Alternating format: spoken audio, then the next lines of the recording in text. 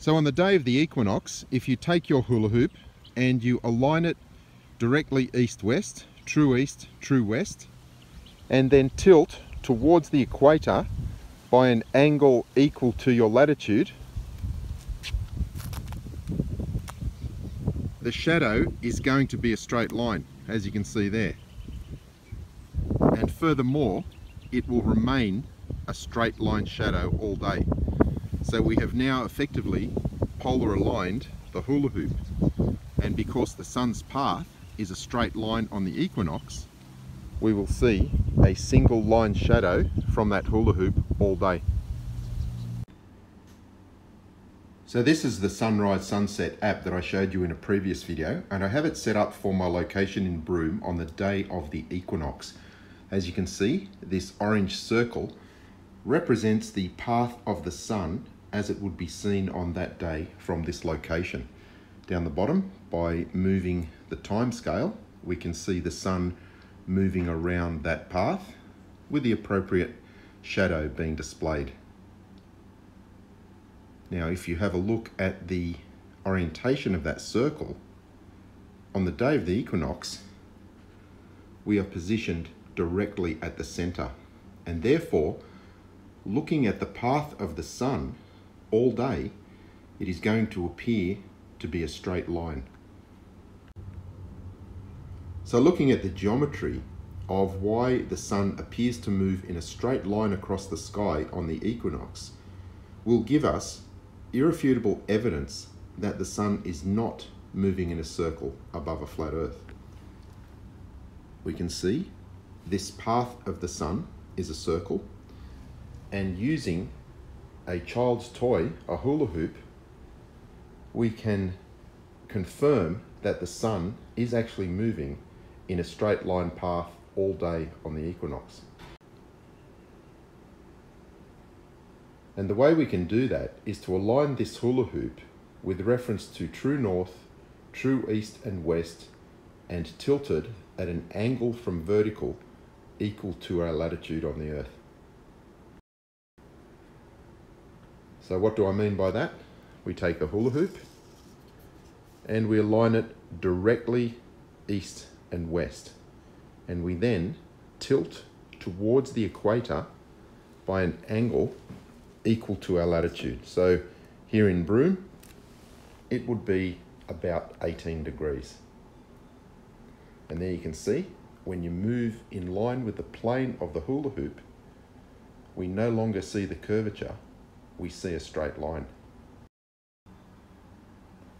So we can take the camera move it to the center of the hula hoop, and then pointing directly at the sun, the sun will actually be obscured by the hula hoop. And that will be true all day if you have aligned the hoop accurately and you have the camera positioned directly at the center.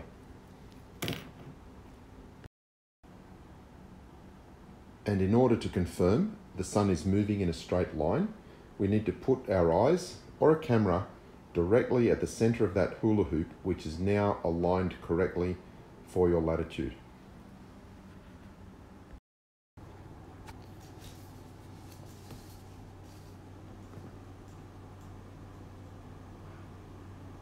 So I've only got two hands here, so it's not the easiest thing to demonstrate, but I now have the camera at the center of the hula hoop and if I was following the path of the sun, you can see that it is going to be a straight line.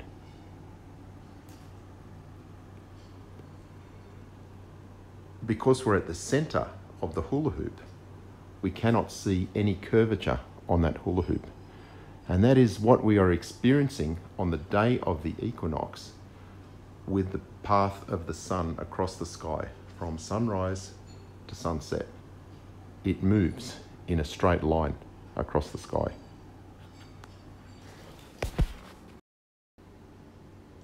So one of the excuses I have heard several times from flat earthers is that the circle of the sun's path above a flat earth is so large that we are only seeing a very small portion of it.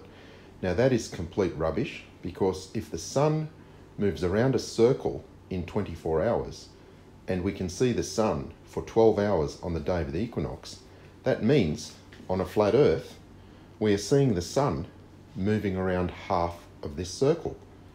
We're not only seeing a very small portion of it, we're seeing half of the circle on the day of the equinox. And yet we're not seeing that curvature. On the day of the equinox, the sun's path across the sky is a straight line. Where is that curve?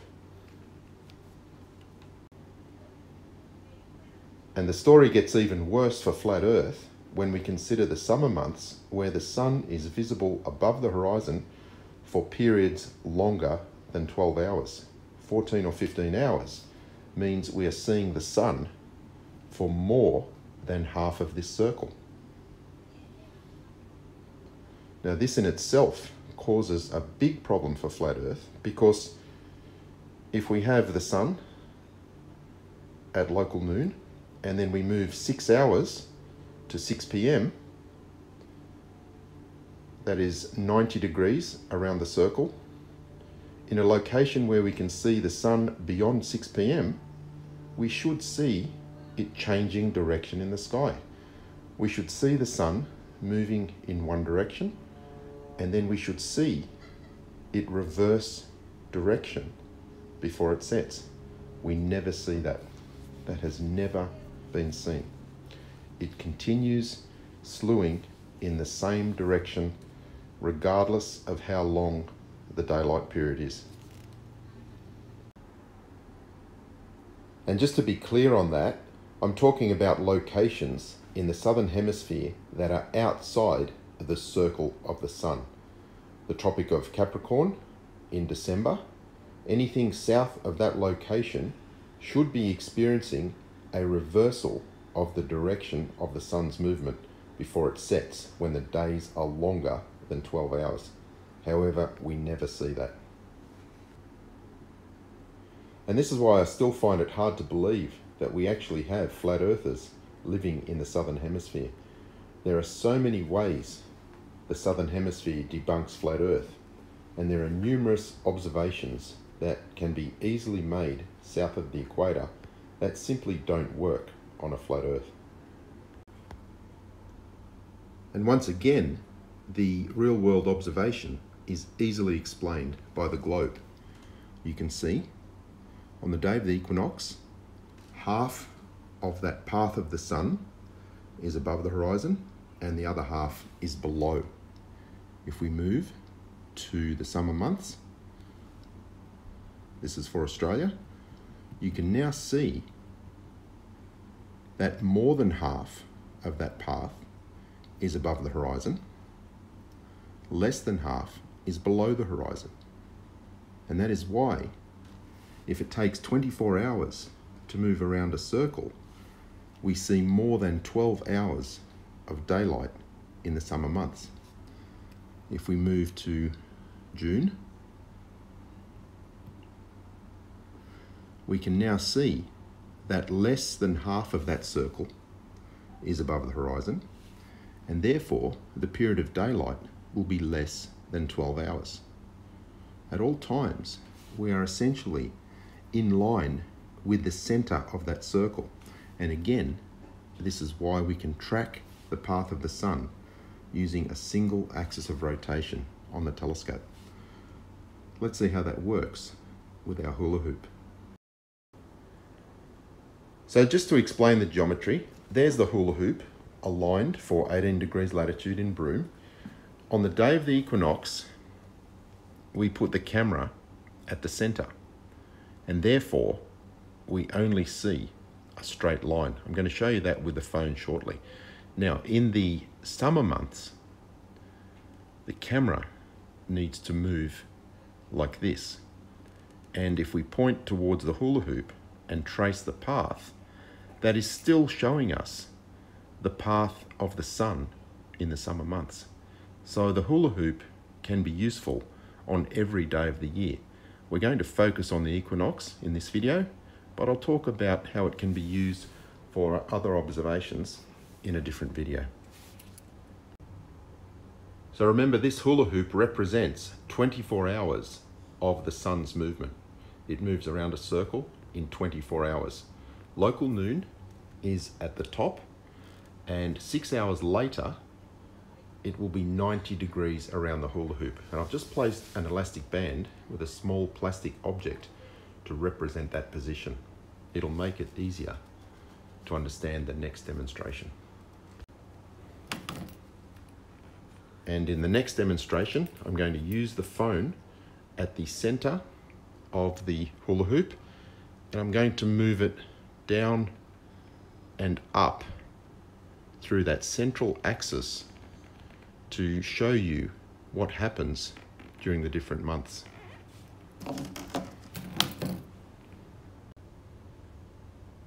So here we have the camera at the center of the hula hoop as it would be on the equinox. You can see that elastic band is at the top of the television cabinet. That is the horizon and that is the 6 p.m. sun position. Now I'm going to move the camera to the orientation that it would be in December in the southern hemisphere. You can see that the path of the sun is slewing in the same direction at all times as it sets and you can see that the elastic band is now above that horizon. So remember that's the 6 p.m. position. So now the sun will be above the horizon for longer than 12 hours. And this geometry helps you visualize it. When we go to the winter months, you can see now that the 6 p.m. position is below the horizon, and that is why the days are shorter than 12 hours. But once again, you can see that the slewing angle of the sun as it sets is moving to the left, as we always see in the southern hemisphere. So once again, you can see the geometry of the sun's observed path across the sky does not fit the flat earth model. It fits the globe model perfectly. And you can verify it yourself with this app and with a hula hoop on the day of the equinox. Remember, align it east and west, tilt towards the equator by an angle equal to your latitude, put your camera or your eyes at the center of the hula hoop and the path that you see will be straight and will match the path of the sun on the equinox. So I'm outside now and holding the hula hoop in the orientation that is correct for Broome. And as you move the camera, tilt it around, that would be the path of the sun. If you take the time and align the hoop accurately and set it up correctly, you will see a very precise path of the sun indicated by the hoop. So I have now given you two very simple experiments to perform on the equinox. You can build a model of the Quitsato sundial or you can just obtain a hula hoop, orient it correctly for your location and confirm that the sun moves in a straight line path across the sky on the day of the equinox. Either of these experiments are evidence that the earth is not flat and the sun is not moving in a circle above that flat earth. So back in July, I released this video, which was a preview for the Equinox Challenge with the Nikon P1000 being the prize. We now have less than 10 days to go and I will be producing another video either tomorrow or the next day with further information on this contest. Because I'm on a work trip, I haven't had the opportunity to look at a Nikon P1000 yet. I'd like to get one in my hands and just evaluate it before I purchase one for myself. That probably won't happen until I'm back in Sydney later in the month. So the humble hula hoop, oriented correctly on the day of the equinox, is all it takes to destroy the flat earth claim that the sun is moving in a circle above a flat earth. Let's see how many of our flat earth friends can do the mental gymnastics required to understand the geometry of why this is true.